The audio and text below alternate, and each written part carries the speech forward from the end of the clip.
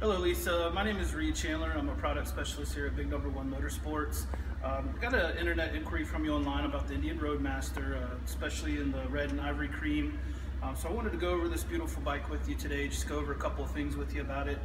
Um, one of the good things about the Indian motorcycle is all the protection against the weather.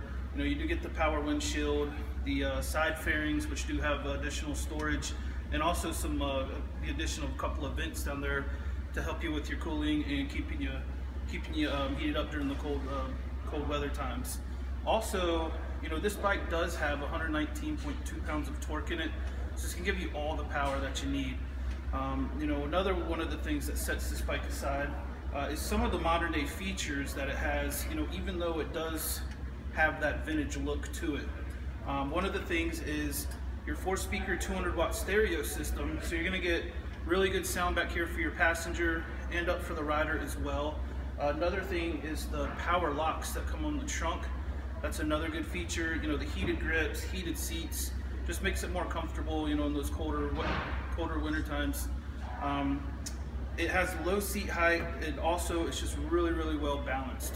This bike handles well in, in the turns. Uh, it also has a cast aluminum frame. So when you're going into those turns, you know, the back isn't gonna kind of slide around on you. It's just a really, really solid fill. Creates a really good handling. Uh, you can call me here at Big Number One Motorsports. The number is 205-942-3313.